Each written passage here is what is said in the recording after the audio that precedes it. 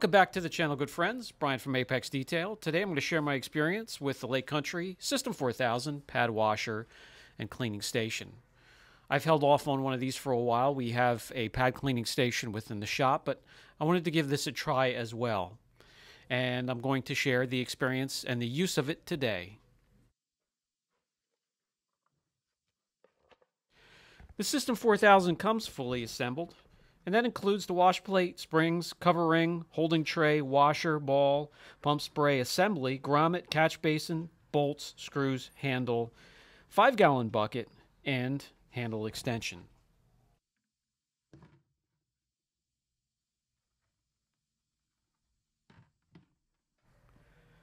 Time to prepare the cleaning station and fill it up, get it ready to clean pads, and that's simple, quick, and easy. Lift the cleaning assembly catch basin out of the pail, pull straight up. Uh, pull up on the blue bump out grips. Empty one packet of the Snappy Clean Boost cleaning powder into the pail and fill with 1.6 gallons of water. Place the catch basin back into the pail until it sits in there nice and snug, and now you're ready to begin cleaning.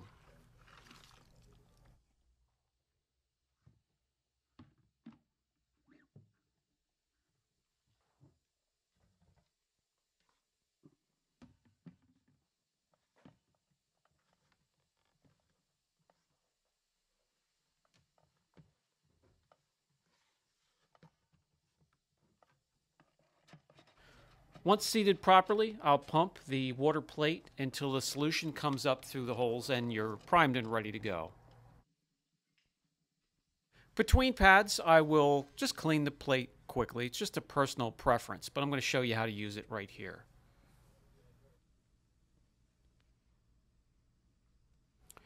Attach a pad to the polisher, backing plate insert into the pad washer. Before operating the polisher, Push down a couple times on the wash plate, and this will pump up the cleaning solution up into your pad. Run the polisher at low speed. Move around back and forth lightly from edge to edge. Inspect the pad after about 15 to 30 seconds and continue if necessary. Drying your pads. Lift the polisher slightly so the pad no longer makes contact with the plate. Run the polisher at a higher speed setting. Spin out the excess moisture. The process doesn't remove 100% of the moisture, but it gets a lot of it out, leaving behind a nice clean pad. Just a little bit of staining here and here.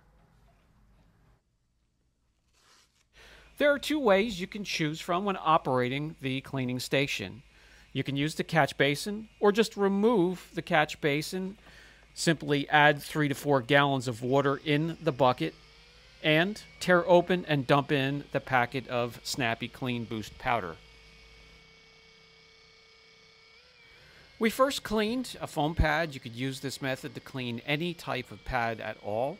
And then we're going to swap over and clean a microfiber pad. This is Uro-Fiber 5050. Um, this pad actually was uh, traced with the backing plate and cut to fit. So it's not perfect, but we use it, it's effective, and we keep it clean.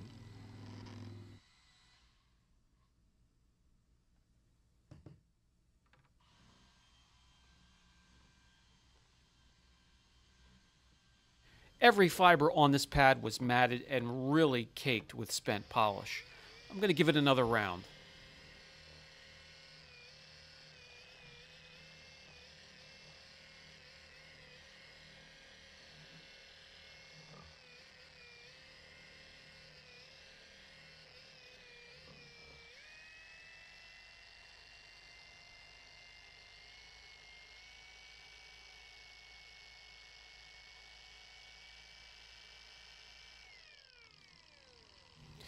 Nice and clean, this keeps the pads effective. And again, doesn't matter what type of pad it is. And I clean off between each pass before loading up the pad again with fresh product. And I will wipe down the plate before cleaning each pad as well.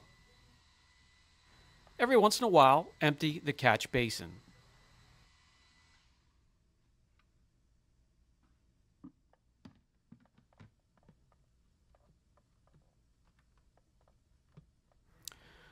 I have the station here close to the Lambo for a reason. I wanted to show you very little splatter. If you keep the polisher down just slightly on top of the pressure plate while drying, you can keep everything contained.